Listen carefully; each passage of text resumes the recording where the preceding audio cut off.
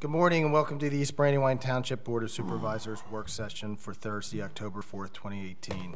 Uh, A reminder for everybody, a recording device will be used during this meeting.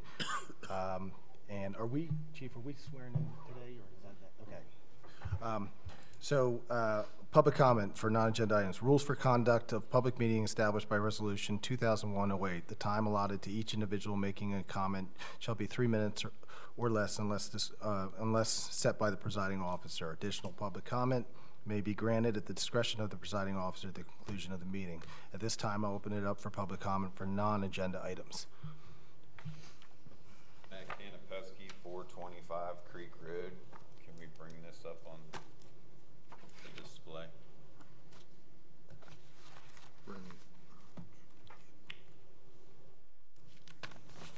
Zoom in, please. I presented this photo at my second meeting ever attending. I believe it was the March meeting. Uh, there was only one of these photos presented and only one of these tangible photos in existence that I went to Kinko's and actually paid for an oversized version. Kyle, I gave you the picture specifically. Yep. And you all emphatically claim that you have absolutely nothing to do with this project. So at my DEP file review with Assad Anari, or whatever his name is, who is the regional manager for DEP, he verified that you guys are absolutely responsible for everything 50 feet off of the embankment up into the road. Now visibly, there is no sediment control. There's 410 feet of directional bore shaft in the picture. There's standing water.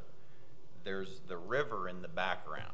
So besides the complete ignorance of your federal requirements for protecting the Brandywine, the only real reason I'm here is Kyle.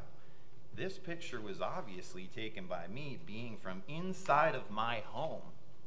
How did this picture end up in the hands of Lamb and Mackerlane, the head of the Republican Party, who would assist you in your political venue? My, what what is my political venue, just so I know? Well, I read your statement from when you lost to Jay Fisher. You said that I lost because I didn't have the GOP support. Okay, so how would that, how would that be helping me to give it to the GOP if they didn't give me support? Well, how did that picture end up in the hands of Lamb? Couldn't tell you. That picture is still. I gave it to you on camera in That's- front of all these Mr. people. Campesky, I have no clue where your pictures go. I don't know if you, maybe your cell phone was stolen. Maybe Kinko's employee gave it to somebody. I have no clue. Your photo that you gave to me is sitting in my locker right as we speak. So I- I couldn't tell you where your second photo came from. Well, And Lamb Winder, Here it Lamb is. Mackerlane are not the head of the Republican Party, Yeah. so. well, I gave you the photo. Okay. And Lamb is presenting it. Could not tell you. You can't tell. Could not tell you. So you still have the photo. I have the, well, I have, it was a picture like this, yeah. Yeah. But it was probably twice the size of that one. yeah. Yeah, still have it. So who photocopied it? Couldn't tell you. Still stapled, you can count the staples in the pack. It's still stapled together in the exact same pack that you Well, gave you me. would agree this is my property. I, it looks identical to the picture you gave me, absolutely. And then you could uh, assume that this is fair to say it was taken from inside of my home, being on the second floor with seeing the window partition in it. So Kyle, you were given the photo on video in a public meeting. Okay. How did this end up in Lamb's possession? Couldn't tell you. Why don't you ask Lamb? I will. They would have to tell you, so I, I don't know. So there's your answer.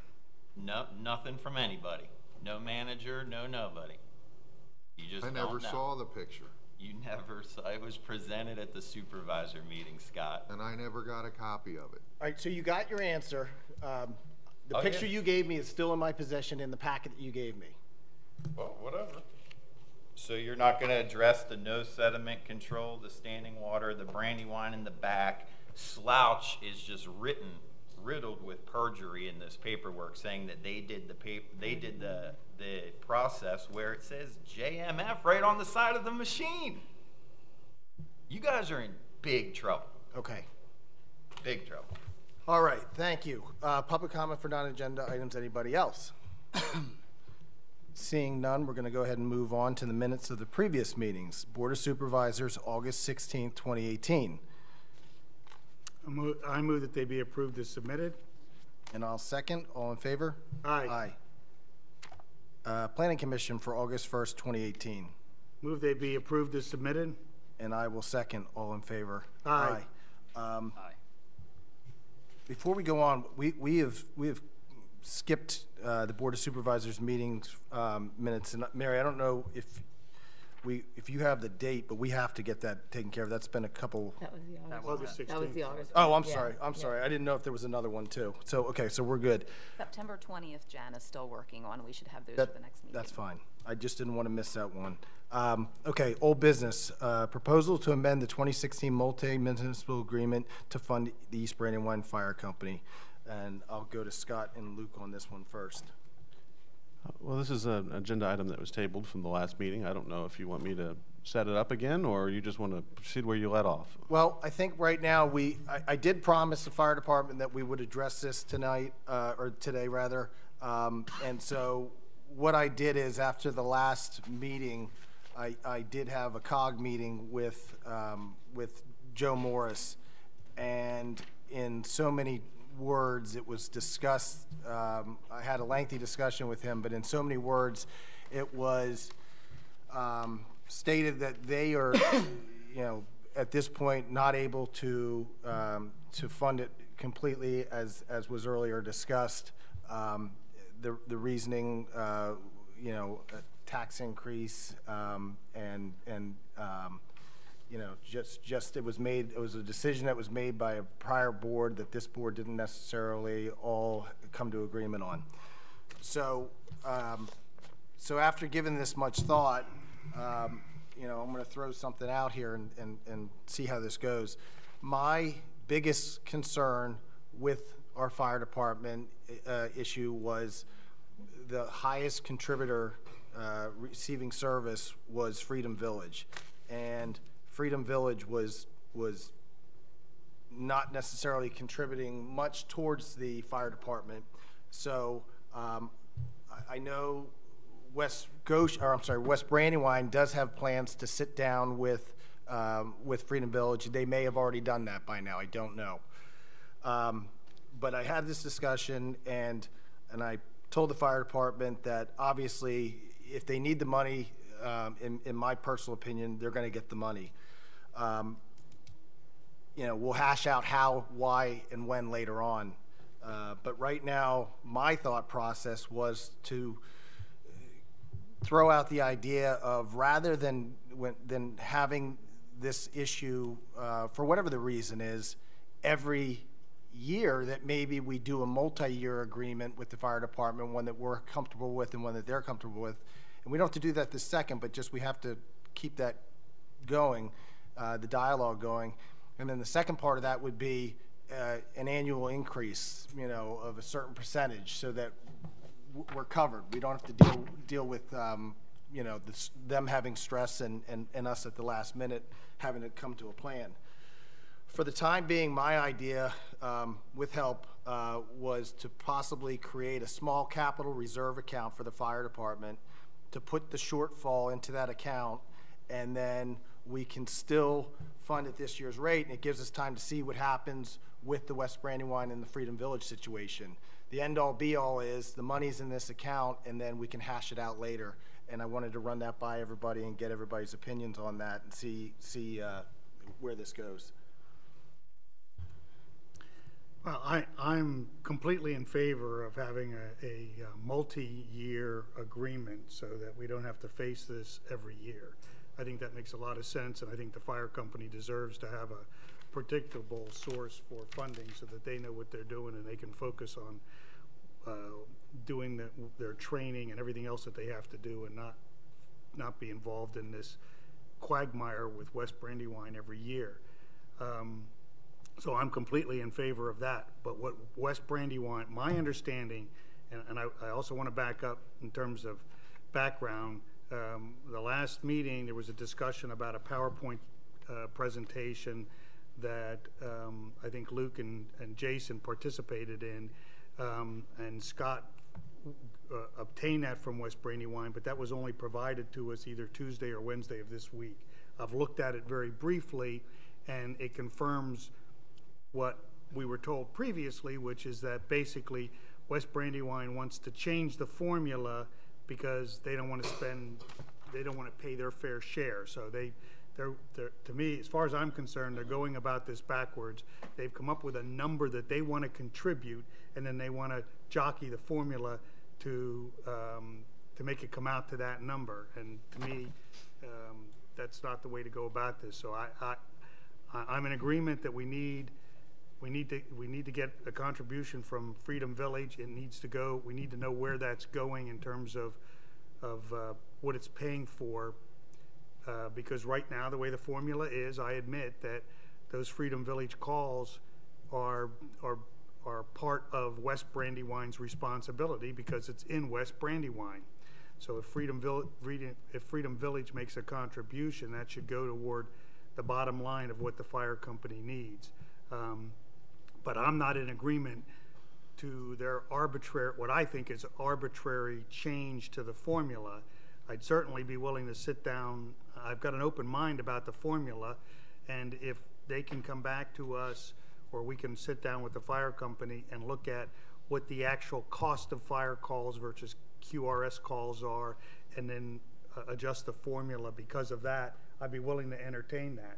But for them to just come in and say they want to change the formula to make it uh, eighty percent based on population and assessed value, and only twenty percent based on actual calls, fifteen percent of that being fire calls, because the majority of those are in East Brandywine Township. Uh, I don't, there's no rash, there's no logic to that as far as I'm concerned. So, I think, I, I- the last time we discussed this, we had discussed having a joint meeting with them, and I think that that would still be a good idea. Yeah, I think that we need to get the formula situated first with the, with West Brandywine as well as Upper Uwchlan, and then we can visit the, the budget and actually start, you know, deciding what we can do to assist them, uh, whether it be a capital reserve account or, um, you know, another talk with the Freedom Village. I think that's important. I'd be willing to sit down and have another discussion with them. All right, so at this point, I'm, I'm, you know, again, my suggestion, I don't know exactly what the total was. I want to say it was twenty-five or twenty-eight thousand dollar shortfall. Um, at this, at this time, me personally, I'm okay with setting up that capital reserve account, um, and, uh, setting it aside and figuring it out later. Um, but again, you guys have to vote on, if you're not okay with doing it right this second, I'm fine with that. We, ju- you just got to get a vote on this so that, Yeah. I, I don't think, to me, I don't think we need to vote on that today, because that's not the issue. We're in the budget process now. If we are, from a budgetary standpoint, gonna set up a capital reserve, so the fire company feels comfortable that that money's been set aside, we can do that between now and when the final budget's adopted. But what, what I think what's on the table, as far as West Brandywine is concerned, is whether we're going to agree to their proposed change to the formula. So I'm, I'm, I'm in hundred percent agreement with you that we gotta make the fire company, we, we, we've gotta fund the fire company budget. But, uh, I, I think we need to address the West Brandywine contribution and the formula between now and, well, whenever, whenever, we need to go forward with that process. And it's unfortunate that they waited until we were in the middle of this year's budget issues to bring this up, instead of bringing this up. Like, the last time we did this negotiation, I think I said this at the last meeting, we started in January, we had it, we, it still took us until August to get everything resolved, and we were a little behind the eight ball in terms of the budget cycle, but we, we made it work that year, the first year we did this for them to bring this up in August now, to me, is too late to deal with it for 2019. I think we need to look at it going forward. well, I, and I don't, go ahead. I'm saying, plus the budget committee's here, they're gonna be, you know, so we can actually tell them to, you know, get that in there. Um, So, uh, and I see Joe Edwards is in the, in the audience here. Was this, uh, uh, was this money, the shortfall, this was for 2018 shortfall, or, was- yeah, absolutely. Good morning. Excuse me. Good morning. Joe Edwards, East Brandywine Fire Company. not John, Joe. Um, uh, what was your question, Kyle? I'm My sorry. question was the shortfall, the, the, was that 2018 shortfall or was that 2019 shortfall? Well, you can appreciate I'm not the numbers guy. It's Ken Ader and uh, my brother John Edwards. I believe the twenty-eight thousand dollars is where uh, the shortfall for this year's budget is. Um, I can't say that 100% today, based on last meeting that I was at, based on the other meetings I was privy to. I believe that 28 is the shortfall moving forward with this year's budget. When you're saying this year's budget, you're, we're, we're The working on. a proposed two- budget that you guys are working on for us. 2019, Yeah. not for 2018. so- so- We fully funded the fire company for 2018. But we agree, I don't think we fully funded them, Mm. but we came to an agreement with West Brandywine, and, and you guys I, made some. I, I would be modif- comfortable with that statement, that the fire company's budget with concessions was met last year. Okay. This so- year, 18. Yeah. Yeah, because that's my main concern. I don't want you guys to have a shortfall in 2018. And that, and that's our concern also, and I heard you mention that, um, you know, you like to, moving forward, enter into a budget that addresses an increase and come to a three or four or five-year agreement. And I think all the fire company members would be amicable to that. We want, would like to come to the table and talk to you about that. Again, I can't talk to the numbers about that because that's Ken Eater and John. But I know that that has been discussed from the people who did the survey with us to throughout the fire company and you guys. Okay, um, and, and my, my biggest, um, uh, I don't want to say caveat, but the, the biggest, uh, fly in the ointment here is, is the Freedom Village issue. So what if, um, what if the shortfall, and I hate to say West Brandywine shortfall, but the shortfall was, was met by East Brandywine, uh, to get you that, and then say Freedom Village then, uh, contributed more money, um, how would that work with, with the East Brandywine? Uh, would they be reimbursed for the, for, for the difference if, if it was above and beyond that contract, or how would, any thoughts to that? I, I don't, first of all, Freedom Village Managing Director is Brookdale uh, Senior Living Center. So they would probably be the person that is going to oversee. I don't think the local people from Freedom Village can make the decision to give thousands of dollars to an emergency service. Um, ag- again, I hate to sound like uh, I'm dodging the ball there, but I don't, I don't know. That would be having something you guys would have to work out as a board with, you know, the managing board of our fire company. Basically, I'm the representative for the operations side and representing the fire company today, but can't give you a definitive answer as to, yeah, I'll give you a check. I'll give you that check back if they give me a check. You know. I don't, I don't think that's a fire company issue. Yeah. It's an issue between us and West Brandywine and Uwchlan, And Freedom. not, not the fire. Yeah, and I don't know who the check would go to, if it comes. Would Oh. it go to the fire department directly, or would it go to West Brandon? Well, so, so what it boils down to is, um, you know, I promised you that I would do some work to get today, to get to today. Um, I did have that discussion with, with, uh, Joe, and I've also had the, uh, discussion with, with others to try to, um, come up with something that made sense. You, you know, again, I'm only one of three, but my thought is, to put it in the capital reserve account. It's there, you're good to go, and, and we try to um, figure out the logistics of it, you know, later on. But we can, we can discuss this with you guys further. I know you guys want to sit down with us again, and, um, you know, I'm happy to do that. But I don't want you guys uncomfortable feeling as though this is getting shifted and shifted and shifted. It's not. Um, We'll certainly, you know, you know, if you said to me today, I need an answer today, we'll give you an answer today. Um, If, if you say, hey, we're good waiting another week or so, and sit down with you guys, and, and we'll- do that as well. Well, well, I think last year's numbers came at the 23rd hour as to what we were going to be. Um, And I just don't want you guys. Right, and I, and I know that makes it uncomfortable. If I could digress a minute and say to you, we've had multiple meetings as a company with Freedom Village without success in regards to funding. Their, their feeling at Freedom Village is that the individual residents of 15 Freedom Boulevard are taxpayers who pay a certain amount of tax, who, if they pick up the phone and dial 911, why should their service be any different than if someone picked up the phone on 322 and dialed 911? And when we met with the management of Freedom Village as a fire company to try and increase funding, that's kind of where we were at and where we were left. Like these folks own their individual condos, we manage it.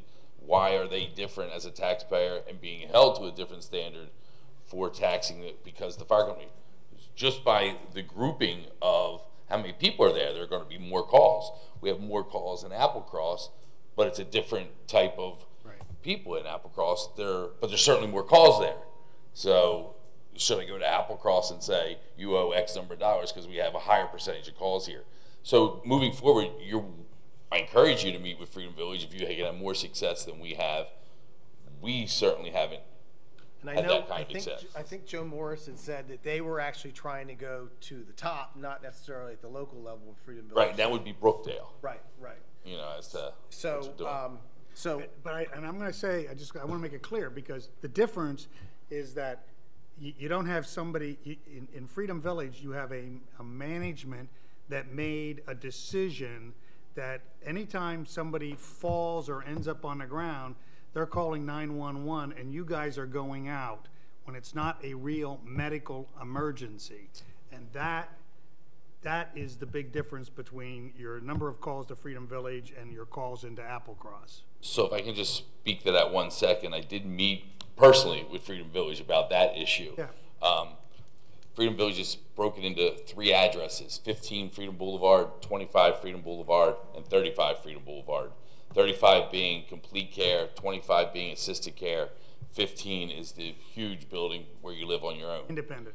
They've tweaked, they've tweaked their uh, policy that 25 and 35 is no longer called for lifting assistance unless the person is in fact injured. So in 25 and 35, they will pick those people up. 15, because the people live independently, is where we will still get a call if someone were to fall. And again, I use the example just like if the guy down the road fell in his house and just needed lifting assistance.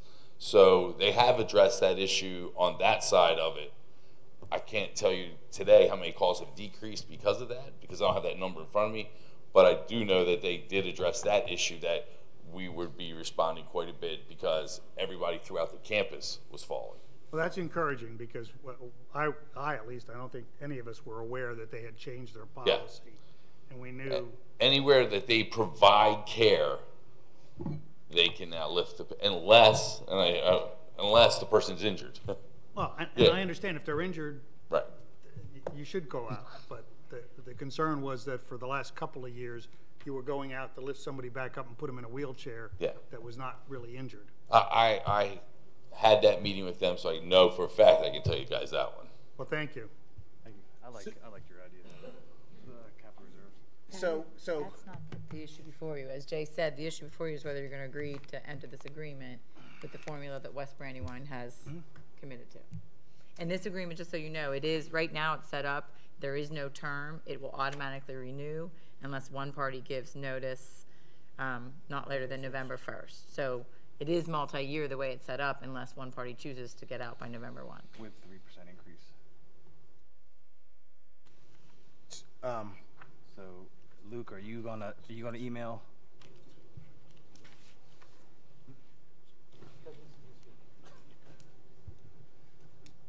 So the issue before the board is whether or not you're gonna accept the new proposal. The Yeah. other, the other topic you're talking about is the capital reserve. So you have two things, I guess, you want to address. Well, the capital reserves would be second, but I think we need to, as of right now, then I don't think, I think we're gonna go back to the table with, with, um, I believe, if I'm correct, with Joe Morris from West Brandywine, or or are we gonna? well, not, all right, so hold on. So, so the, the agreement that's before us today is the one minus the shortfall from, from, from West Brandywine, correct? this, the agreement that's before you today proposes at West Brandywine's request to change the funding formula so that the total percentages, if you accept the new formula, East Brandywine would pay 60.11% of whatever the budget is that you all that you've decided, and West Brandywine would pay 36.11%, and Upper Uwchlan would pay 3.78%. And that does not address anything with the, with the annual increases, correct? I don't, I don't believe so. So, just so we understand, the, the, the agreement, the way the agreement is structured, the fire company comes to the three townships and does a budget presentation. We have some budget discussions, and then the three townships agree on how much, uh, uh, basically approve the fire company budget. Once that budget is approved, then the formula is applied to the budget, and it determines how much each township's contribution would be for the next year. What West Brandywine did was said, here's how much we want to contribute. Totally irrelevant to the, to the fire company's budget. And then they now want us to change the formula so that the number comes out to what they want to spend, not their fair share as determined by the formula. All right, and so it sounds to me like this formula in, in terms of West Brandywine is, is not working out for them, whether we like it or not. It just, that's the way I'm, I'm getting. Um, this new draft proposal, though, what I'm saying is, was there a deadline for, for this where, where they needed? November 1st is the deadline because I think my understanding of West Brandywine's position is if we don't agree, that- and first of all, this wasn't negotiated. This was just, here, Right. take it or leave it Right. to us. If we don't agree with their position, they're going to pull out November 1st. I- If, if I could just, uh, I think it's important in, in the interest of, uh, of of just clarity.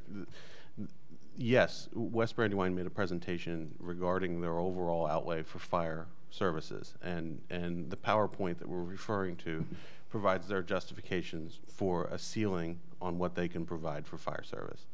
Um, and, and this is a minor point, but I think it's important. The, the particular formula that, that is the, the one that's before you, should you keep the old one or adopt the new one, that formula actually was created at the meeting between East and West. So uh, I, I, that's just a, a minor change to, to the, the groundwork that, that Jay laid. It is correct. They, they, they described a ceiling for their funding, but the formula, the actual percentages that we're recalculating here, were worked out in the meeting between West Brandywine and East Brandywine. Based on what they wanted to contribute, not based upon any other Correct. We used their ceiling as a way to determine the, the, the formula, but it, it, it's, the, the draft agreement here was, was hammered out in that meeting, and it's, And the form, the original formula was created taking into consideration a number of different factors. We, we included fire calls, QRS calls. We included the assessed value of the, the land within the service area. So we didn't look at all of West Brandywine. We only looked at the assessed value of the properties within the area that the fire company serviced. Um, and we looked at the population of each of the townships. And the, we, we discussed at some length why those formulas were important because uh, there was, and I, I said this last time, my original position when we went into those negotiations three years ago or so was it should be totally based on just uh, the operating, uh, the expenses of the fire company. In other words, if they, the number of calls in the different municipalities. But I was convinced that we should include a factor that would um, take into consideration the ability of the township to pay for those. So we, we basically uh, came to a determination that it would be 50-50, 50% based upon the actual number of calls and 50% based on the other factors, assessed value and population. And I think we followed a model in that that's used in West Goshen Township with uh, the, the uh, famed fire company that services West Goshen and I think Westtown or some other municipalities. So there was a model here that we, that we, uh, we could look to. Um, So now for them to come back and say, well, we're going to change the formula or the, suggest that it's eighty percent based upon population and assessed value and only twenty percent on the number of calls, to me is, is arbitrary, so. All right, so, so November 1st is, is the deadline. Mm-hmm. Our next meeting, here, here's what I'm thinking. This is multifaceted. The first issue, the shortfall, if, if you ask me right now, yeah, we'll, we'll, we'll do a capital reserve. Again, we're a board of three, everybody has to vote on it. Regarding the agreement that, that has been changed, um, is there, I, I would assume if we were to sit down with West Brandywine, um, and, and Uwchlan, we would have to have a special meeting, uh, advertise it, and we would have to do this before the, uh, next Board of Supervisors meeting. I'm willing to meet with all three of them, uh, before, obviously, November first is our deadline. We have to do this before Well, November not 1st. necessarily, because if, if. I disagree, and here's why. If they're threatening to, to pull out November first, if there's nothing, I don't want to play that, that, that poker hand. But I don't, what I'm saying is, uh, these deadlines, they could agree to extend the Oh, deadline yeah, while we're meeting, so I'm And I will, I will speak on behalf of Upper Uwchlan because I represent them and contacted Kerry Vargo. They have no problem either formula. They're such a small piece of the pie. They'll pay, they're, they'll pay what, either under the old formula or under the new formula. They have no, I don't think it's necessary to invite, you can invite them to the meeting. I don't think their board of supervisors, they, Okay. they're gonna let, they realize the issue is really between East Brandywine and West They're gonna be three percent or three point one percent. Right, they don't care. They, they Maybe they could be appreciate the fire twenty-eight thousand company more percent. to pay whichever formula, but, but I think, Kyle, what you could do is, is, and I think that's what we were trying to do from the last meeting, is schedule a special meeting of both boards. It would be a joint meeting. It would only need a sunshine advertisement, it'd be a twenty-four hour notice. And at that meeting, you can hear them out and listen to them and maybe come up to a compromise. I don't think there's gonna be any, any much wiggle room from what I've seen from, in West Brandywine's point of view. I mean, I think that, you know, although I don't agree with the, the way that the formula was changed and working backwards to benefit them, I think at the end of the day, they were honest about what they, what they could spend and due to the nine percent increase in school taxes and, um, you know, if the formula can be changed, I, I don't see it being changed this year. I- And I understand that that may be their position, is this is how much money you're gonna get. But to me, it's two separate issues. We, we may be able to work out circumstances where we don't change the formula and they contribute what they're willing to contribute. But I, I think we need to get to the bottom of the, that, of, of arriving at a formula that's fundamentally fair, based upon logic and reason, and not just based upon, this is what we want to contribute, so we're gonna adjust the formula so that it comes out to that. Uh, so you'd rather just keep it the way it is and, and have some kind of, Well, I think there, there are a lot of different ways we can, what do they say, skin the cat? What, so, so the old agreement, their shortfall was twenty-eight thousand? Well, there's a dispute about that. What, what Luke's numbers say is if we accepted the formula change, our contribution would increase by forty, approximately forty thousand. Now, I think Ken, when Ken, with the last meeting, Ken said he ran numbers and he thinks it's twenty-eight thousand, but it's somewhere in that range. So, um, can we, can we approve, can we stick to our old agreement with an increase of, uh, of the capital reserve account of twenty-eight thousand dollars? Um, and uh, West Brandywine can do what West Brandywine wants to do, uh, with their, One way or another, we gotta meet with West Brandywine, I think, because That's what they asked for, that's West Brandywine. West Brandywine. Kyle, I, I, I spoke, I had a chance to speak with Joe Marsh, and it was certainly not an official, and I know he is open to meeting with you guys from that end. I know, um, the president of our organization, John, has spoke with him, because him and Ken are also, same way we stand in front of your board, stand in front of their board, and I know that they're, uh, they are willing to meet with you, so if you guys want to get the, both you guys together, then you have a better understanding moving forward, be able to tell us, hey, this is where the money's coming from, this is how you're gonna be funded, you know? I just don't want you guys feeling as though we're kicking the can on this. Right. So you have my, again, my personal assurance from me that the shortfall of twenty-eight thousand dollars and my, my vote would be met on camera in public. Um, again, um, we'll, we, you know, I still think as soon as we possibly can, if, if, if Kristen's firm could set up between West Brandywine's firm, uh, a meeting, I, I would love to have this resolved before our next, uh, supervisors meeting, and we can do it, um, you know, any early morning or evening, and, um, uh, you know, try and get this rectified for these guys. You okay with that? I'm, I'm, I'm fine with that. I think the fire company would be fine with that. You know, we, we can have someone there, Ken could be there to be concrete numbers instead of, Okay. you know, myself. If you give us a, you know, a far enough head, heads up as to when the meeting will be. Well, If you want someone there that has the concrete numbers, Ken Ader is the treasurer and the one to provide that. Okay. And I Yeah. think, okay? We can do that. All right, so, and again, I think this needs to be done within the next two weeks, uh, realistically. Um, Yeah, I mean, I, I agree with Jay, though, that if you're making progress at this joint Yeah. meeting, you could always, the parties could agree to extend the current contract month by month until such time as you negotiate the new contract, so. Well, why don't, why don't, like, uh, Luke or myself, we'll just email Joe and, and Carrie and set it up so we. Yeah, and I just figure Just with not worry Kristen with about it. legal, at least you have the two, the two solicitors can hash out how and when and, and mediate, so to speak. good. Okay, thank you, Joe. Thanks. Okay, uh, we're gonna, we're gonna go to, um, uh, to the SPCA 2019 five-year agreement. Scott?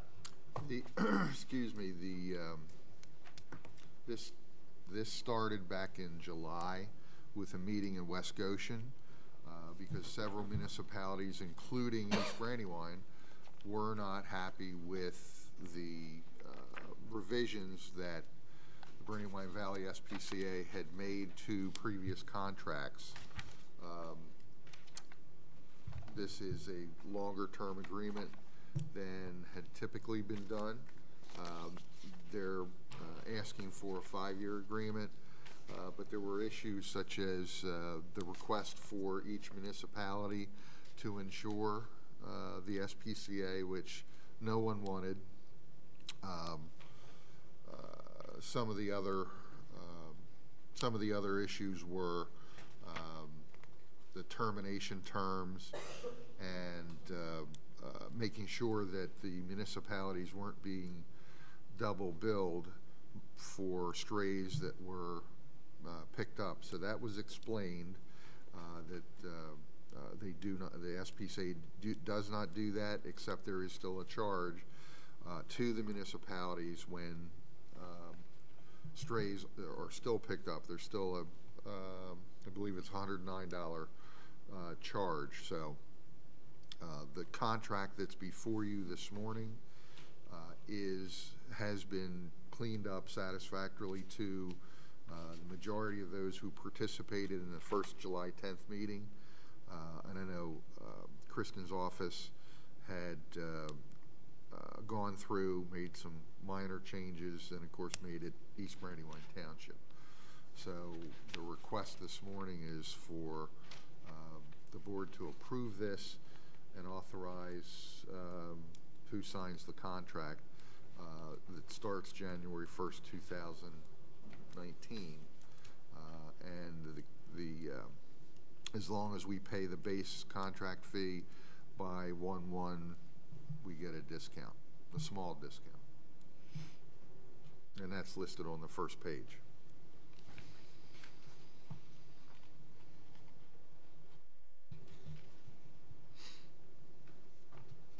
I'll make a motion that we approve the Animal Protective Services, uh, full-service five-year contract with the Brandywine, um, Brandywine Valley SPCA and authorize Scott Piersol to sign on behalf of the township. I'll second. All in favor? Aye. Aye. Thank you. Uh, New business. Um, This was discussed over 30 days ago. It was just un- inadvertently not put in the, um, i- in the agenda for the Downingtown Library discussion. Um, And I think Jack, Jack Hines is here. Good Morning. Good morning. Appreciate you uh, having us here this morning. I want give you a little bit of information about the library and about some of the things that your folks from East Brandywine utilize the library for. And Thank you. Thank you. library services, uh, Downingtown Library is Uh, Pardon the interruption, Mr. Hines. We are, we are recording. If I could have you speak into Oh, the microphone, I'd appreciate it. There you go. Thank you. I hate to hide behind things. uh, I like to hide, but not behind things. But anyway, uh, the Downingtown Library is the library that serves East Brandywine Township. We serve a number of other municipalities. And uh, the library, as you well know, moved into new facilities about three years ago, uh, 2015. Uh, just to give you some idea of what's happening with the library, to this time in two, this time of the year in 2015, we saw about 53,000 patrons come through our doors. In 2018, at this time this year, we've had over 70,000 patrons come through the doors. The library is being utilized very heavily. Uh, we've had a wonderful success in our new facilities. Uh, that brings us to why we're coming to each municipality and talking to you. Uh, one of the things that's happened is our costs have increased. And we have a wonderful facility. In fact, it's, it's, it's being utilized to, to the fullest. I mean, we, we, we have to talk about what our future is very soon, soon. and it's going to be more than what we are. Uh, it's just, it's just amazing. And I might mention that in, in East Brandywine, uh, your folks are well read. The, the municipality with the most number of books that are taken out from the library is East Brandywine. So you have a good populace, they're well informed. So uh, brings us to where, where we are. For the last couple of years in the new library, we have uh, been have had a negative budget. We've been utilizing our savings to balance our budget on an annual basis. That can't continue. In fact, we only have, if we continue the way we are, we have about two years left of savings that uh, we'd be have to change our business. We're open uh, seven days a week. Seven days, six days a week. We're not open Sunday. Yeah, sorry. Uh, but it, it's it's there's a lot of great things going on at the library, and the library is a basic service of a community, very similar to your fire department. You, you're just talking with those folks. Uh, we don't want to diminish what they do and, and, and the bravery. We don't have people, you know, running into burning buildings at the library, but our folks do provide a necessary service to the community, and it's done by volunteers. I have members of the board here with me. We have uh, our executive director, our director, uh, Elizabeth Hess, and the other folks are on the board.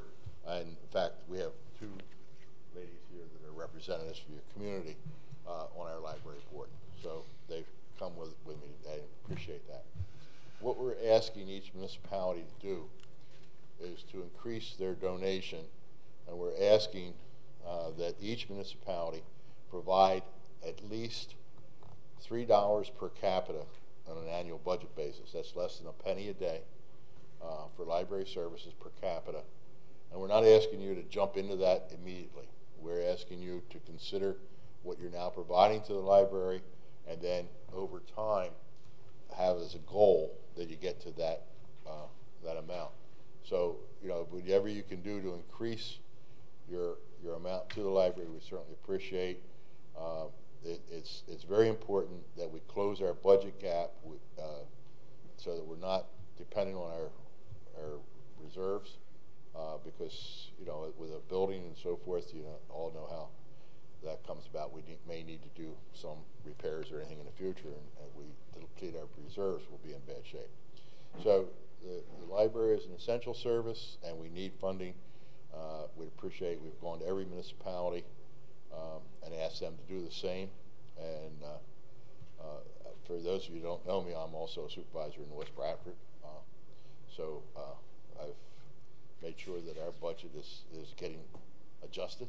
And uh, we've, actually gone towards this goal for several years now, and we've increased our budget by 5 or 10 percent a year uh, just to meet that goal. And, and uh, uh, we're willing to take a big jump at this point, and uh, we have our budget work session next week. So uh, I'm willing to answer any questions you may have, and you know we really appreciate you listening to us. And and also, before I forget, if you don't mind, after this presentation, some of our members, we may leave, meaning we don't mean anything by that, but uh, we have some things to do. So, but so I'm willing to answer any questions you have, uh, and I'm willing to bring a big truck up to put money in it if you'd like to help.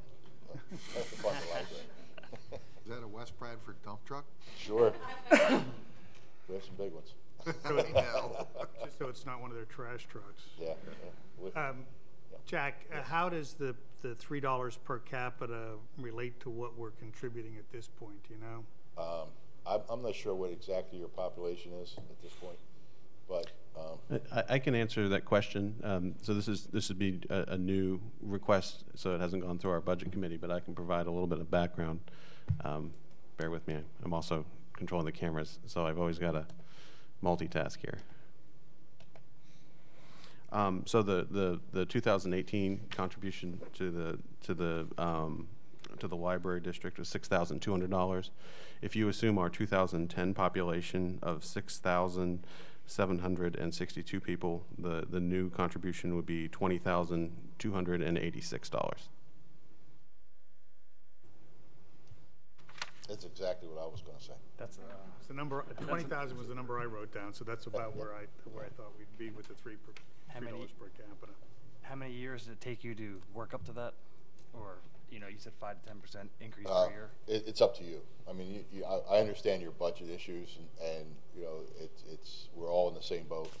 So, you know, you can increase it on, on a percentage basis, or if you can make a big jump, you know, we'd appreciate whatever you can do. So, I'm, I'm just saying, in, in- for a couple of years, West Bradford has used a five percent figure, but, uh, right now, we're looking at trying to get all the way up to the, uh, actually, looking at a couple of things. I've, I've, uh, the board doesn't know this, but I've suggested to them that they fund a, um, we have a children's library that's very, very busy, and it's a part-time position. I've asked Elizabeth what it would take to bring that up to a full-time position. We may consider up to twelve thousand dollars to increase the service of that position as well as our normal donation, but, and, and we're also considering going to the actual three dollars per capita, so, yeah. I think we can, uh, put it, get it into the budget committee. We're actually, just, just to finish the, where we are, we're, we're at about two dollars per capita right now, yes. Thank you.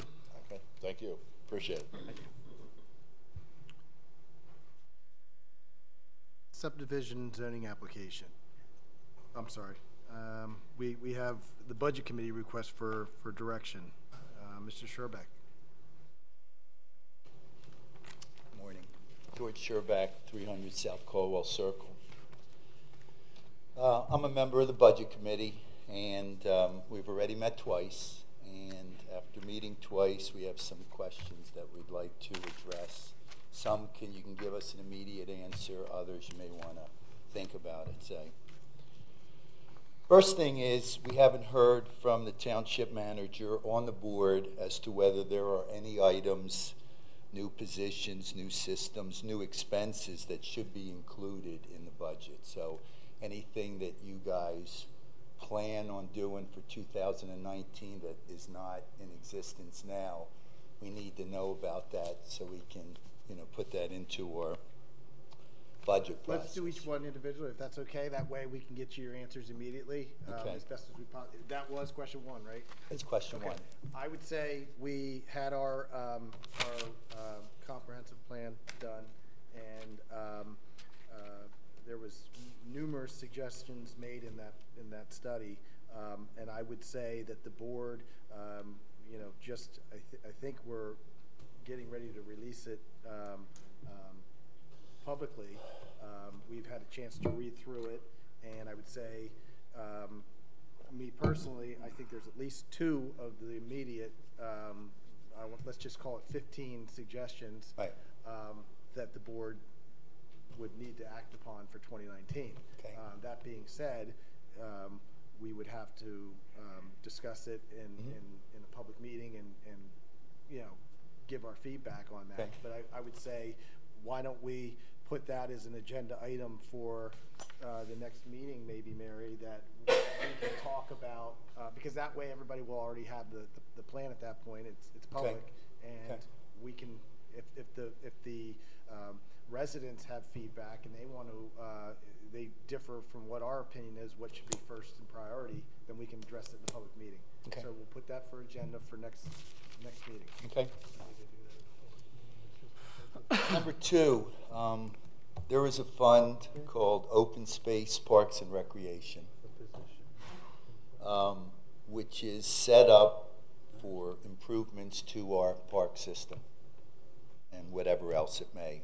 I think the fund apparently has somewhere in the area of seven hundred thousand. It's the opinion of our committee that we feel that the Bondsville Mill project, which their initial, their request this year is for hundred forty-eight thousand, and perhaps other recreational line items would be better served and more appropriately paid for out of this fund rather than the general fund. Um, and that would be more of a legal question. I don't see a problem with it. Yeah, we started to look at that yesterday, but I wanted to look at it a little bit more in Okay. detail and report back. It seems like that should be. So it seems like likely work. that should Yeah. work. Likely that should work, but I want to look at it a little more carefully. Okay, great, great.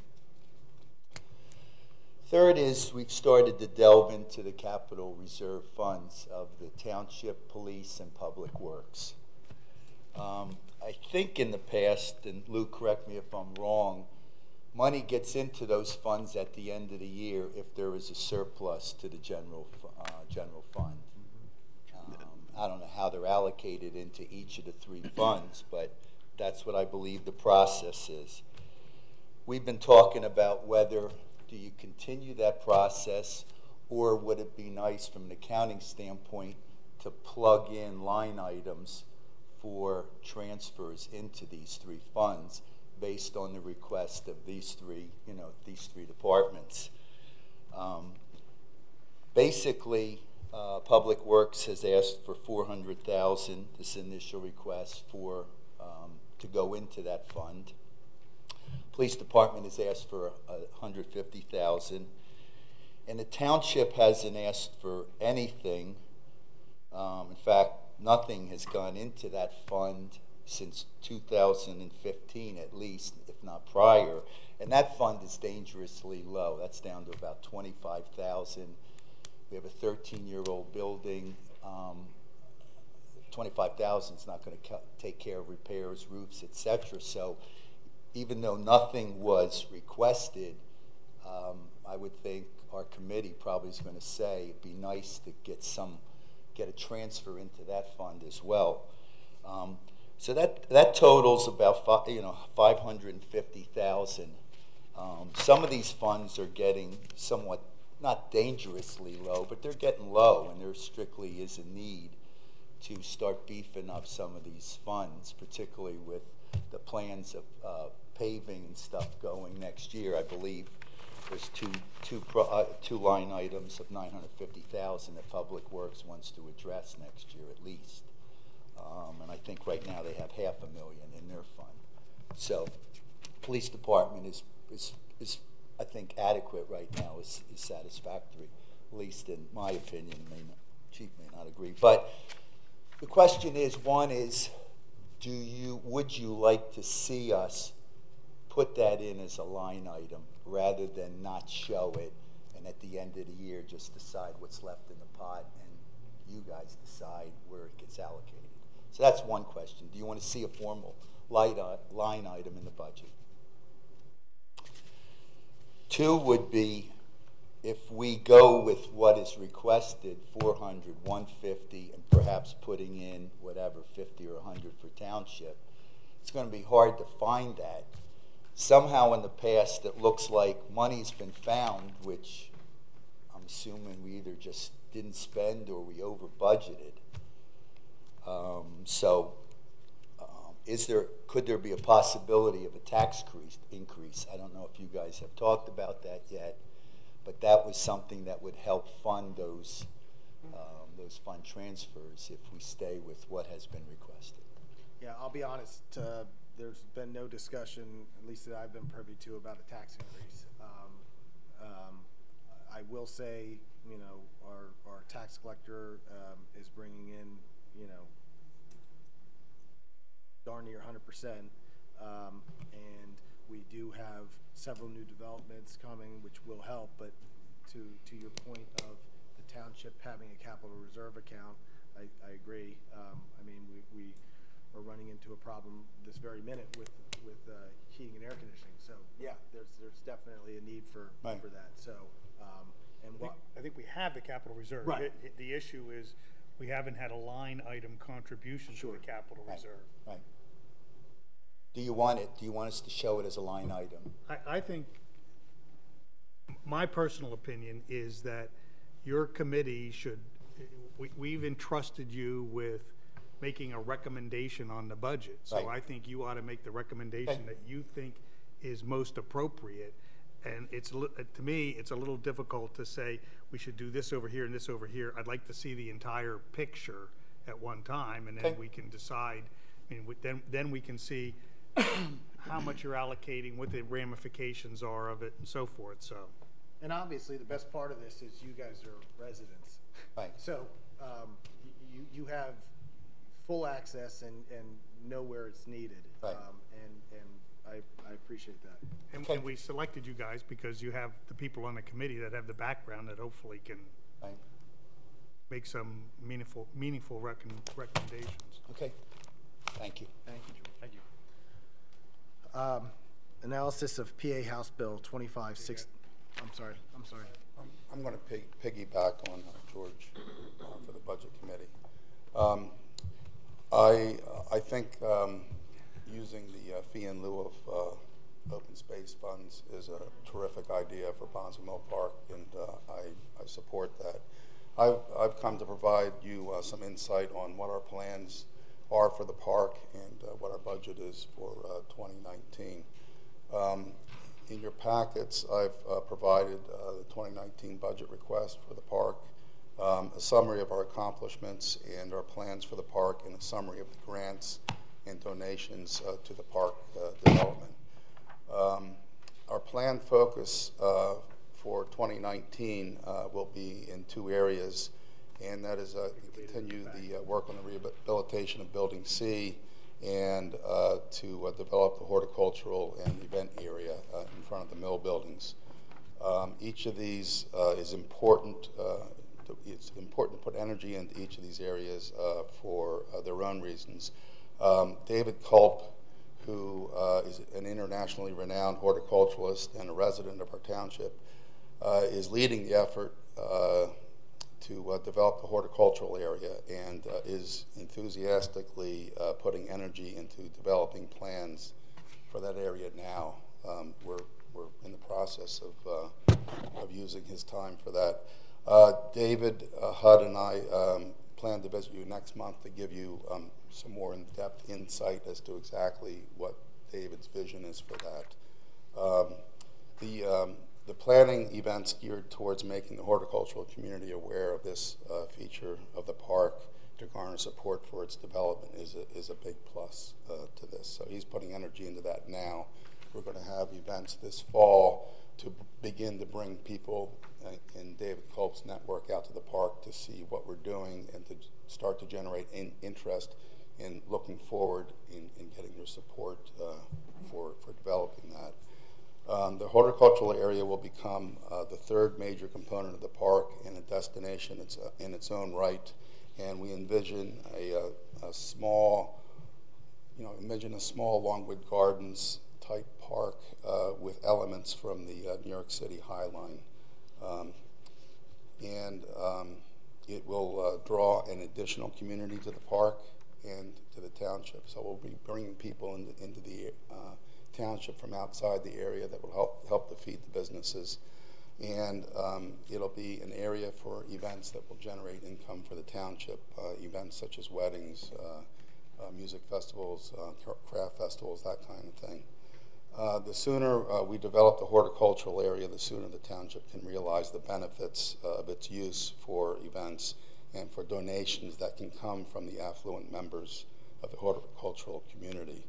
Also, um, we have the key person with the connections into the horticultural community to lead up this effort, and that's, that's David Culp. Regarding Building C, um, this work is being done by a core volunteers to have the necessarily, necessary um, specialized skill set. Um, the, the work that they've been doing on Building A speaks for itself, and we can look forward to a similar result um, for Building C.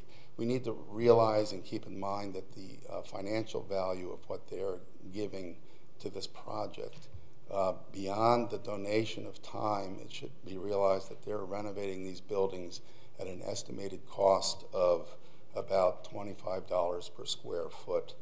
Uh, and you know, as compared to um, estimate in 2010 dollars of $150 per square foot. So it's a huge, huge benefit. Um, and keep in mind also that the donations uh, that I've presented in the grants and donations summary are conservative. Um, the volunteer hours presented in the summary there are 2,354 hours, uh, but uh, we've only been documenting uh, man hours uh, since the June of 2017. So since June of 2017 through September 2018, that's uh, 2,300. 154 hours, uh, man hours um, con contributed. And I've uh, estimated a conservative wage of $20 per hour. Skilled labor is going to be considerably higher than that. So uh, I, I, think the number in um, the um, donations summary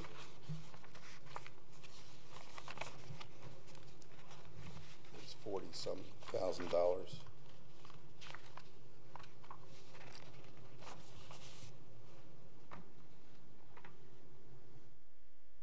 Forty-seven thousand dollars. That's that's conservatively low. So you know, for about um, year and a half, um, forty-seven thousand dollars in labor. Um, you know, and, and it's important to keep these volunteers involved. You know, they're enthusiastic. They're out there. They're getting the work done at a, at a, um, a huge savings to the township, and uh, we're concerned that if the work falls off too much there, that uh, we'll lose them to to other projects.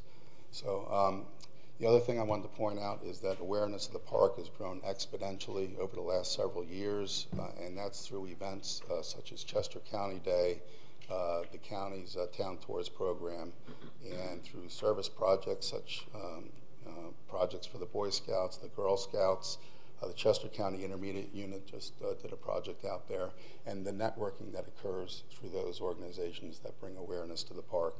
Uh, activities like um, we had a movie that was sh- uh, shot at the park um, uh, last month, um, and that movie is associated with um, Provident Church in West Chester, which has a huge congregation. Again, awareness and networking. Uh, and uh, we have a photo shoot um, this Saturday. Uh, the Chester County Camera Club is going to be out there. Um, and there's several geocaching sites out there. Geocachers come out and use the site. Um, so, and, and the, the future development of the horticultural area and the events uh, that will happen there will also generate more interest. So, development of the park has been performed and managed in an efficient way and provides great benefit to the township and the region around it. Uh, and it's anticipated the final cost will be far below that spent on the community park for the development costs.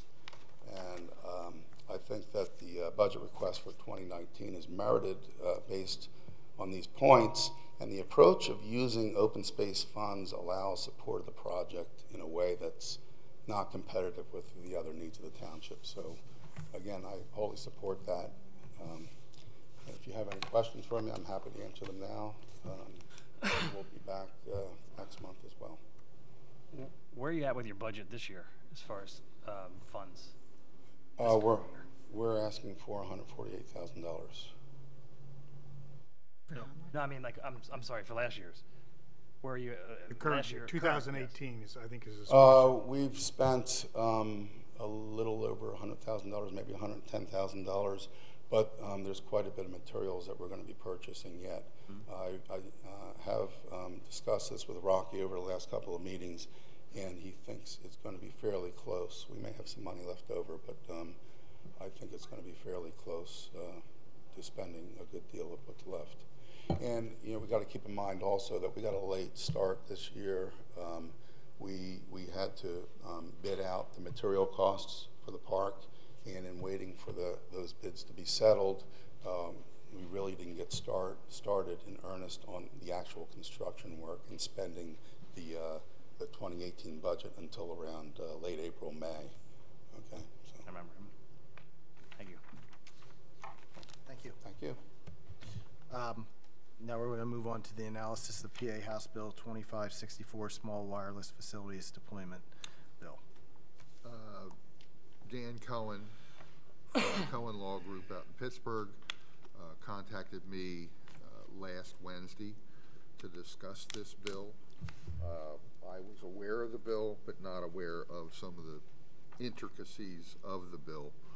Um, He's looking for municipalities to uh, contact their legislators about the bill because it would be, uh, in, in his mind, and I have to agree with him, detrimental to uh, uh, municipalities to deal with these uh, small wireless companies that come in and install um, their facilities on existing utility poles.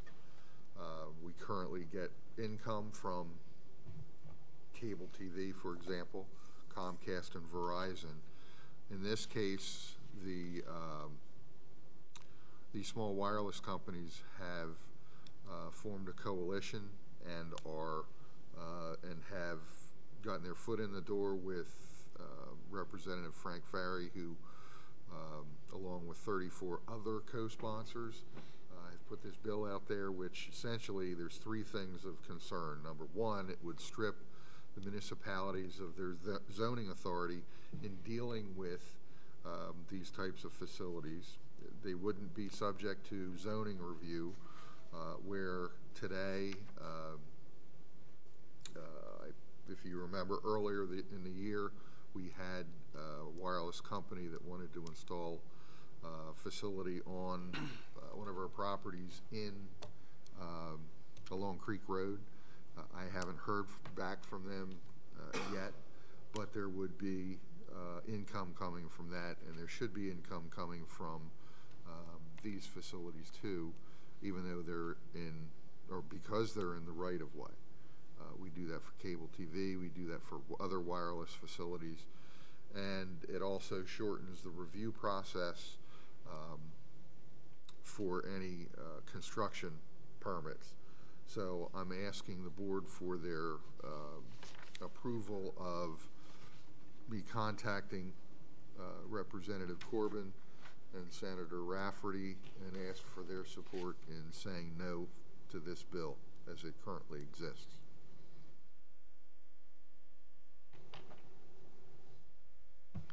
Um, well, I, I, I did take the time to pull up the actual bill and take a look at it, and I was surprised that uh, there are a number of Chester County legislators, not Becky Corbin, but I think Eric Roe, and there were a couple of other ones who have, are actually co-sponsors of this. So um, I would make a motion that we authorize Scott to write a letter asking our legislators to oppose uh, House Bill 2564, but I think it should be sent to all, the entire Chester County delegation, not just to Becky Corbin and John Rafferty. Um, All right, so you, say, say the last part of that again, you're recommending that we, Send it to the entire Chester County delegation, all the legislators. oh, okay, okay, okay, County. yeah, yeah, yeah, okay. I'll second. All in favor? Aye. Although I think we gotta recognize that, that, uh, I, I was interested on that next door neighbor or neighbor website, there was a woman who posted that she's going offline, she's gonna stream everything, and that's the wave of the future, so our cable revenues are gonna be declining as more and more people decide to go to Hulu and Amazon Prime and those, those kinds of, uh, uh, sources for, um, content.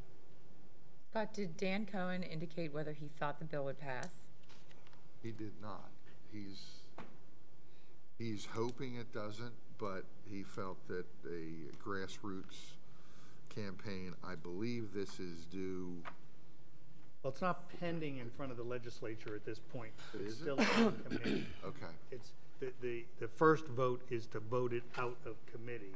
okay. That's supposed to happen by October 9th, I think, Yes. so. um, I didn't understand that part. I thought there was a vote on it in the uh, House of Representatives then, but it's No. just coming out of committee, okay. But So- if you, if you kill it in committee, you're much better off than trying to fight it on the floor. But that's important that you raise that because October 9th is Yeah. next week, so I guess that's a priority. Yeah. Okay. Did they provide, did Dan provide a letter? They- They typically do provide a letter for He, you. he did not, but I'll contact him Yeah, today I and bet ask you- for it. I'm Well, sure he, he has he them. provided a memo. I think it'd be pretty easy. Oh, yeah. If Scott, if you Okay. want help putting a letter together, I'll be happy to do that, but Okay. Okay, subdivisioning zoning applications, uh, the Fassel PRD application, Uh, Faisal, by the way. Basil. Um, You haven't been here long enough to know that. Uh, Ron uh, is still working as an attorney. I think he's, never mind, I'm not gonna go there. Um, but he represented, uh, the Faisal organization. It was the father, um, in the, in the early eighties, before the Board of Supervisors with a planned residential development, or PRD, of the Timbers development off of North Guthriesville Road. Uh, the current owners of, um, one of the properties there, uh, Karen and James Faisal Jr., uh, own a, uh, basically, it's a barn that was on the property. It was originally a, uh, uh, nut tree farm. And they want to subdivide the property, or this, this parcel. Uh, Currently, the barn serves as a two-unit apartment building. Uh, They want to subdivide it into two separate units that could be sold separately. So um, Kristen and I uh, discussed this initially. Kristen and I both met with Ronna Golnick and suggested that the proper way to uh, file the applications would be to start with an application before the Board of Supervisors to amend the PRD plan. And we've done this before, um, but not with timbers. Uh, And Kristen has in your packet a letter to uh, Mr. Golnick explaining the process. He wanted to run both the uh, PRD amendment and the subdivision process uh, in parallel, and Kristen recommended against this. So basically, what I'm doing is to introduce this to the board and ask that um, uh, you allow Kristen to advertise the hearing, the public hearing for this uh, PRD amendment for the, the November 1st uh, Board of Supervisors work session. And I'll jump in. The PRD is a little bit different. It's, it's a section of the municipality's planning code. It sort of combined zoning and subdivision into one. And so when this development was approved as a PRD, this particular barn was already on the property, and it was approved to be converted into four units, two down below and two above. For whatever reason, the Fazels only developed it with two units side by side, similar to an attached dwelling. And they've continued to own it, and they rent out each of the units.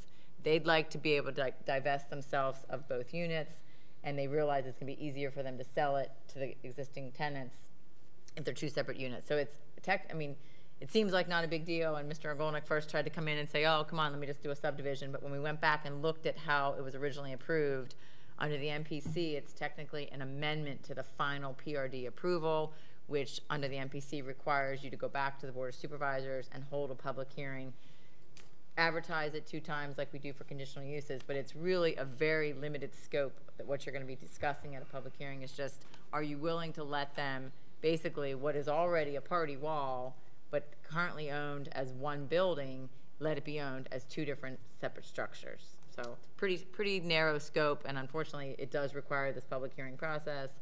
But if the board's comfortable with that, you could approve the amendment to the final PRD.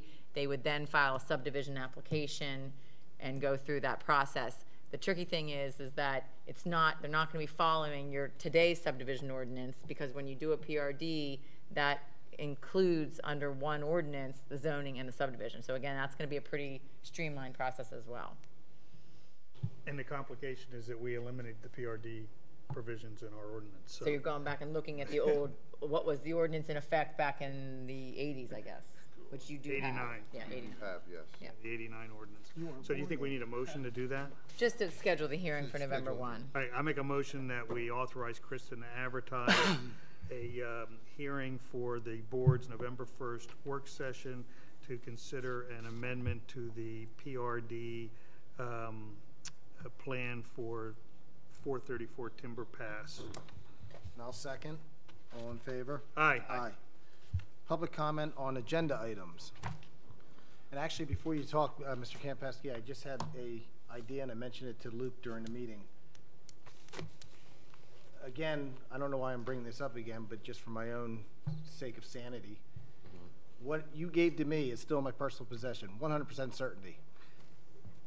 What I believe is you put it on the table and we videotaped it, and I guarantee you, if you match frame by frame to that video, you're gonna find exactly what you found in another legal law firm's possession. But I, it dawned on me, I asked Luke if that was possible, he said absolutely, so. That's a possibility, but I presented about six or seven photos know, on the but I- table, and then I also argued with about Scott because he said he wasn't able to zoom in. Remember that Yeah, conversation? But I just, it, it came to, came to mind. Well, here's another thought that I also had while sitting here. If you've had it in your locker for the last several months, what have you done with the photo?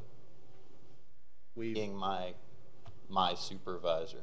I can't talk about it in public meetings. Uh, I'm sorry, I can't talk about it in private meetings, so it would have to get talked about in the public meeting, and you haven't brought. Talking about right now, I gave you the picture in March that has everything to do with breaking of the NPDES, the best water management practices. DEP says you're absolutely responsible for 50 feet off the bank up to the road. They lied on the PUC application.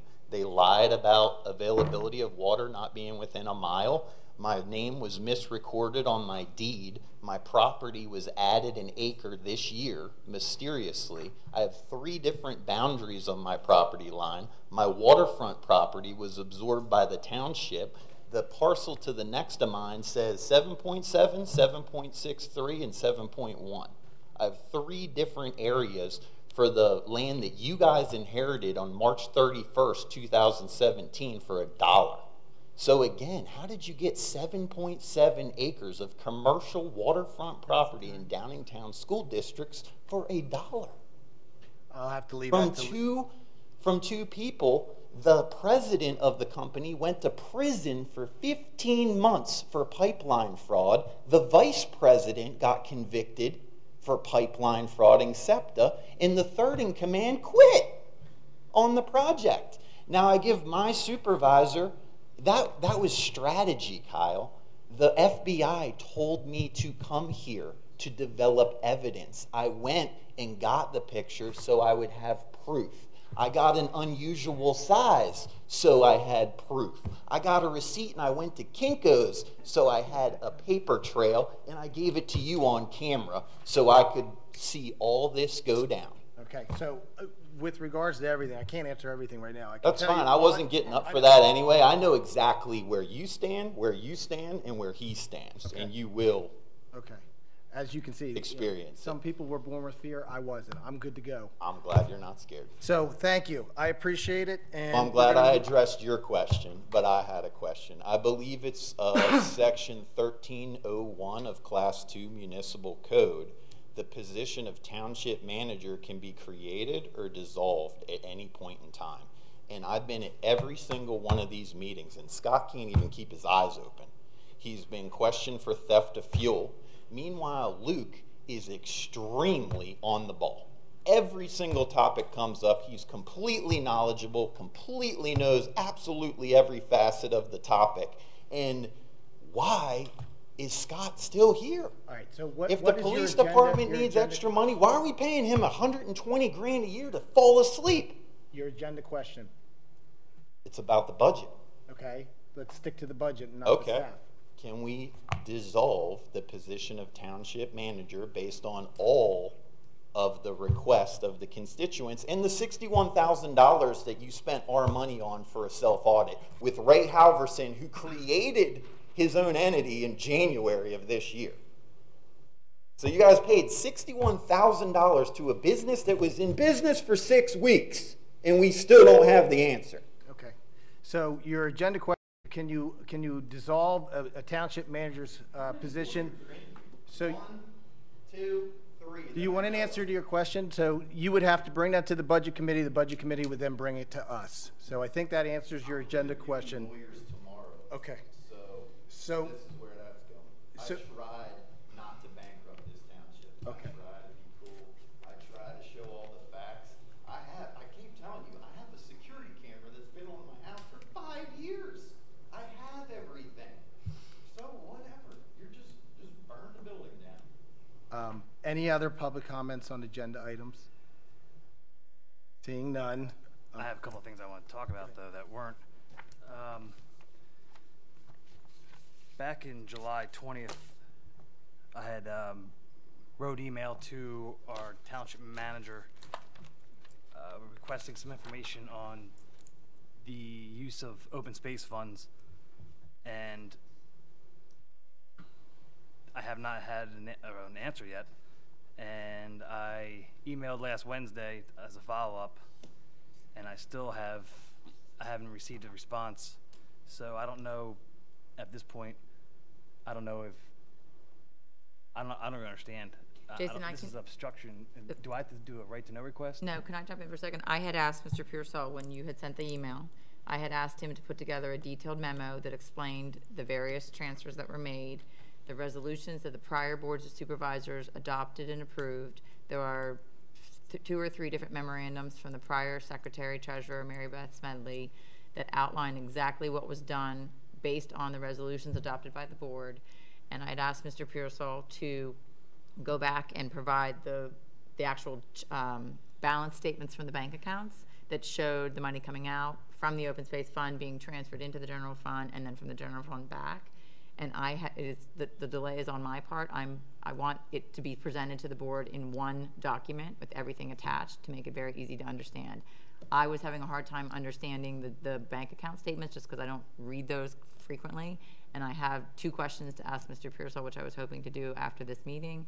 And then we, he was going, it was a memo from him, it's not from me, but I, it was at my suggestion that it go back so that, because it had been raised as a question, and I think it needs to be put to rest, so to speak. And the board needs to see that whatever was done was done by prior authorization of the board of supervisors, and the money that was borrowed from the open space to the general fund went back into the open space fund consistent with the resolutions that were passed with interest. So he has provided that to me. Part of it was that when he was away, I was reviewing the documents and didn't have a chance to clar- get clarity on the two questions that I do have. That's, is it, I mean, because I already provided the, the resolutions and a chart. I just needed to have verification and were you, is this back in July or is this now? No, the, the, I've been looking at it, it was not last week, but the week prior to that. And because Mr. Piersol was away, I didn't have a chance, I have to sit down with him with the actual bank statements on my two questions. Well, you know, I had, I'd spoken to a CPA and I was hoping that the board would be okay with spending five thousand dollars to have a, uh, accountant come in and, and take a look at the books. He had said that it would be a maximum of five thousand dollars. I think if, I would ask that if you wait to get the memo that I'm speaking of, because I think that will clarify your issues. And if, But I mean, if, it's been if three- after receiving that, you're not satisfied. I But mean, I will it's- say that I, I mean, what, what was done was done with authority of the Board of Supervisors, and that was. I understand that, The but it's not- actions were consistent with what the Board of Supervisors had asked for. But it's not permitted though. Well, I don't, I'm not sure that's, I don't, I don't think that's hundred percent accurate. I mean, I think Second class township code, it's not permitted, it's special fund. it, it- you can't spend the funds, and the money was. Only on that, only on, s- on open space, and it was transferred to the general funds and disappeared, so I, honestly, I'm not really, th- wh- what happened happened, I'm fine with that, I think, but I just wanna make sure that it, it got back in there, and it appears that it hasn't, and I don't No, I think understand it why I has. can't, I why think it can't I has. We're receive trying to email? provide you the documentation of that. Well, why can't you email me and say, hey, Jason, you know, you're not being ignored again, and we're looking into it. You know, maybe Mr. Piersol could email me and say, I'm really swamped right now, give me another week. But the, the lack of response at all, I mean, is, is just mind-boggling to me. And it's, it's not the kind of, uh, response that I would accept from my employees. Um, so anyway, I'm moving forward. So how about I'd be even willing to pay for the audit myself if, if that's okay with the board. Would, would that, would you guys have an issue with? Need an audit. Yeah, I, don't we have an independent auditor that we, uh, we voted in just, just this year or last year that would be? I don't think you need an audit. I think if, again, if, if, if you could wait till, hopefully I'll have a chance to speak with them today, and you'll get the memo. If after you receive the memo, you're not satisfied that the money went back into the proper fund, then obviously you have the, you can do whatever Well, you no, want. no, I But understand, but I I think you'll, I think you'll find that those funds all went back to where they were supposed to go with the interest that was required by the resolutions. Okay, but I would still prefer that I'm willing to bear the cost myself and have an audit come in because I'm not satisfied with a lot of things and I think that in, in order for me to put my mind at rest, I Fine, think no, that. Can't uh, stop you from doing that, yeah. And I don't have, a- I don't have, a- if you want to spend personal money to do it, I don't have a problem with it. I can't justify spending taxpayers' money on an audit for one that we do have an impartial audit every year done. Um, That's my, you know, thought process behind it, but obviously you're entitled to, um, um, my wife's not gonna be happy, but, um, you know, but it'll make me put my mind at ease and, um, um, so, So I, I guess we'll leave it as Kristen just said that she'll have, um, you know, an answer in the next. uh, Yeah, it's, it's not a memo from me, it's a memo from Scott explaining it, but I just wanted to make sure, I, I think it's, it could have, I was trying to, I, I suggested that it be presented to you in a very orderly fashion, so that you, ha- you know, you can follow the trail. Here's the resolution, here's the funds that were transferred, here's the bank statements that go to show that the money went into the general fund and came back into the open space fund. I guess if you're not happy with that, then you can do your, your personal, leave it at that, for that. okay. I- I'm, okay. I'll, I'll, I'll table that till October's meeting. As far as, um, uh, Kristen, back on, uh, you had asked Mr. Piersol on August seventh about some email requests that I have been waiting for, and I never received a response from Scott on those emails. Um, I have a list of emails that I've provided and circled the ones that I have not received. And for I, from what I understand from Mike Galley, our uh, one attorney, that uh, I'd I'd wanted to know from him back in July if I could do I have the authority to go into the manager's office and get on his server and look through the emails myself? And he says, given that all the manager's emails are public record, I would suspect that you have a right to view those emails generally. So I'd like to have Luke take me in the office directly following this meeting and I can um, get search for my missing emails. So, I think that's a board decision. do you have any issues with that? Or Jay or Kyle? I, I, I- my concern would only be legal. That, that's my only concern. If it's not a legal issue, and I don't know if one, uh, attorney can make that decision, but that's, that's my, uh, you know, I wouldn't, if, if one attorney said, yes, it's legal, and one says, no, it's not illegal, then there's ambiguity. So that would be my only problem, um, me personally. I mean, Well, I think you, I know that, and I don't, I, I'm not, I don't know what emails you're asking for, Jason. I know that there, Why? I've emailed them to everyone. I know that you did, I know that you, you made a request, and I actually spent about two or two and a half hours at that workstation where you, you normally access the server, pulling up all of the emails I could find.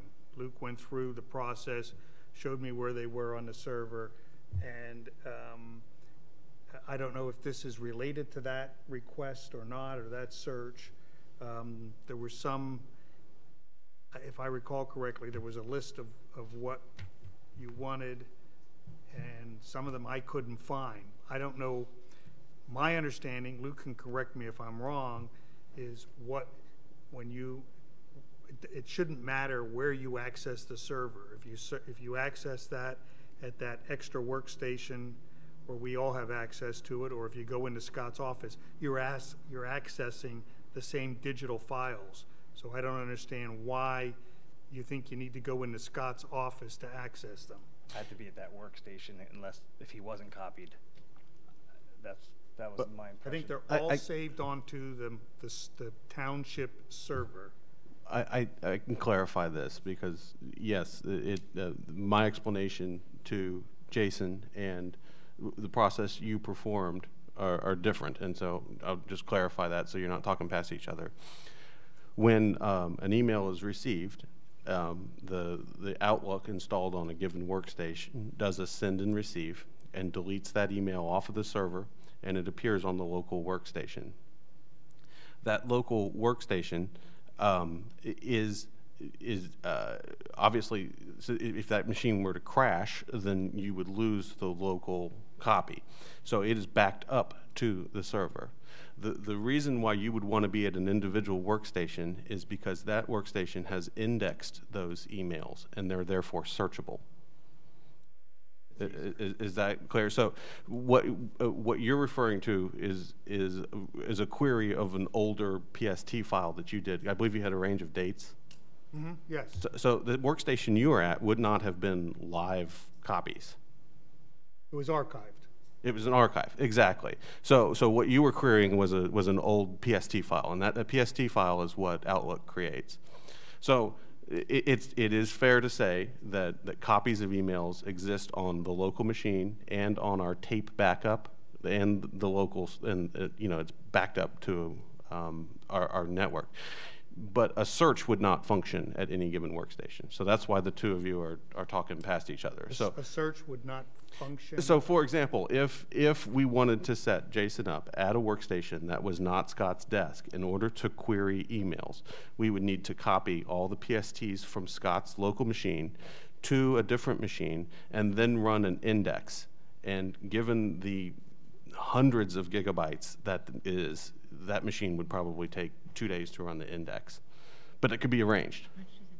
I would prefer just to do it right at this meeting and, and Luke, sit with Jason at his desk and search But, but I think the, the, the explanation that Luke's giving us, so what's the time period for these emails, Jason? I, don't- I don't know, I'm just, um, from, pro- from fifteen till present.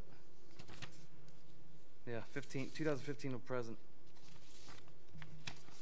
So, um, you know, it's, it's all public knowledge, I, I don't really. W- Would you need to run a query to find things, or would you just scroll through things to find something? I'd probably, I'm not sure, I- I'm not sure, probably easier if I just, So, Not so really i- in terms of what I could deliver to you at a, new- at a workstation that is in Scott's office, I could quickly deliver to you the ability to scroll through. I could not quickly deliver to you the ability to query. I prefer just to just sit in his office and. All right, all right, no talking out, please. This, we do have a meeting to run, and I've been very cordial, but, and not just you, everybody, it- with interrupting, we can't have it. It, it's not professional, it's, this is our work time, and we have to discuss it up here in public. So, So, all right, devil's advocate. Fishing expedition. Um, I, I have no problem with, with, with, with doing this. However, I don't, I don't think it should be in, um, you know, I'll just go into somebody's office and sit there for as long as I want to, just out of respect. It's a policy decision for the board as to whether or not you want to respect privacy of your employees, or do you as a board, what what Mr. Gailey said is accurate, is that totally accurate, there's no disagreement on that. You as the board of supervisors run the show. You get to decide, you are Scott's boss, Scott's computer is not Scott's computer. Scott's computer is a township computer that the board of supervisors delegates and gives him the right to use. Just like Mary has a computer, the chief has a computer. So whether or not you as a board think that it's appropriate for not, or any one of the, any one of you board members to go into his office and just look through whatever you want, whenever gonna- you want. I'm I'm just not saying, this, I'm not- this could be taken not- to the don't- you're- extreme, you're Jason. contact- You're taking. No, well, I I'm saying it's a board decision as to what you want to Then how about this? Then I'll make. board to I'll- go to another employee. I'm not saying it's a bad, it's, it's your call, that's all. How about this? I would Um, just how like to about go sit in his office for, and look for the emails that I requested three months ago. I'd like to look at his server, not his desks, uh, you know, not his files. I res- I'm not, you know, if this isn't gonna be a reoccurring event, uh, you know, I don't think anyone else has to worry about it. But My if, if suggestion I'm was being to lied have to, go with if I'm being Jason lied at his to, desk and I look think the that, uh, emails. I That have was every my right. suggestion. Is to have Jason and Luke at a time convenient for Scott when he's not gonna be working at his desk to go and look for the emails. Well, I'd like to, I'd like to take a look at the schedule, and I'm, I'm around today, uh, because I didn't know how long this meeting was gonna be, so. So here's how I'll, here's, this is my two cents worth.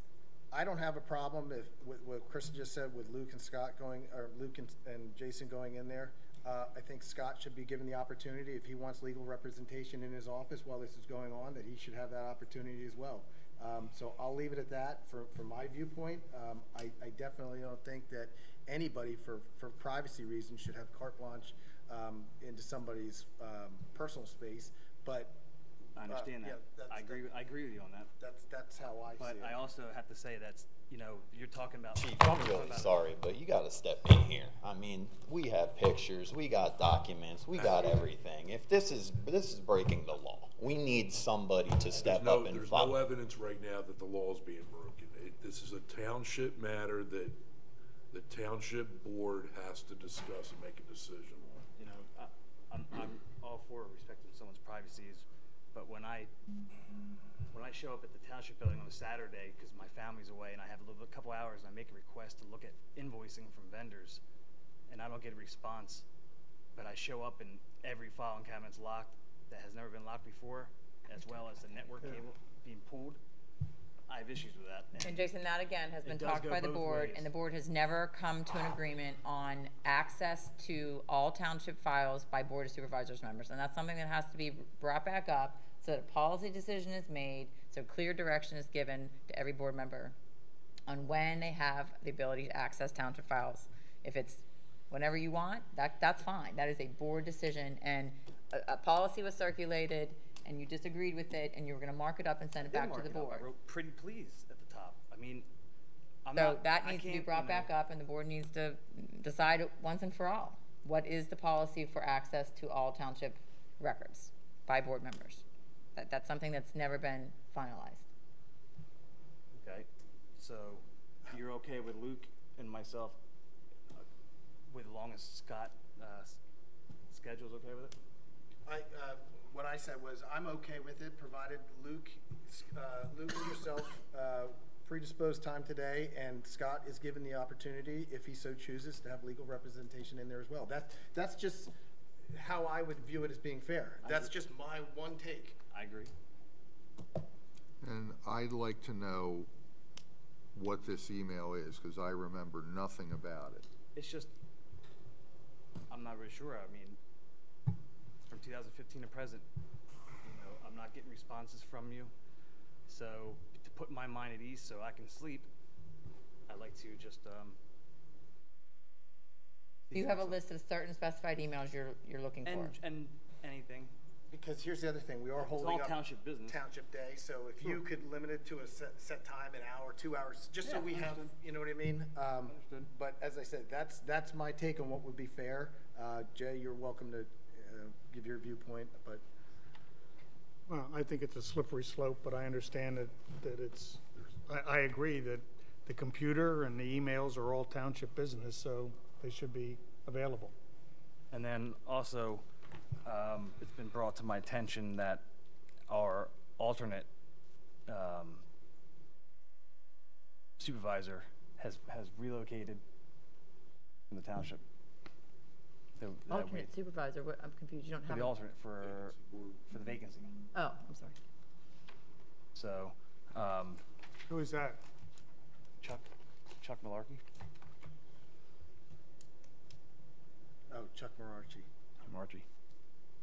So, um, being that he's, he moved out, I think that, uh, we need to choose a new one, uh, for the time being, and, you know, I've seen George trying to volunteer at the budget committee, showing up at every meeting, he's, he's well knowledgeable of, of, uh, the processes. Um, he's an honest gentleman, and he's offered, offered to Luke, so I, I'd like to make a motion to appoint George Sherbeck as the alternate uh, vacancy board um, from October 4th on. Um, I don't know if I can get a second or not, but Um, I, I, I know George personally, I, I have no problem with that. Um, I, um, I also knew Chuck, so, um, I have no problem with it. Um, um, and again, this is vacancy only, so yeah. I'll second. Just, okay. Um, anything else? Um, no, I think that's it. Uh, Was the vote complete? Well, that wasn't, there was no vote on that. There was a, a Yeah, motion I and a made motion second. and he- he But seconded. there was no actual vote. You have to actually take a vote on it. Uh, so we'll go to, open it up to, to uh, Supervisor Fisher. Well, you're, you're calling for a vote? Yes. I vote in favor. Okay, all in favor? Aye. Um, All right, so, uh, the notice today will be the uniform and non-uniform pension committees will meet directly following this meeting in this room. Uh, and, um, just a, uh, note, the board will meet in executive session following that, that meeting for legal issues. Uh, and do I have an adjournment? Motion to adjourn. And I second, all in favor? Aye. Aye.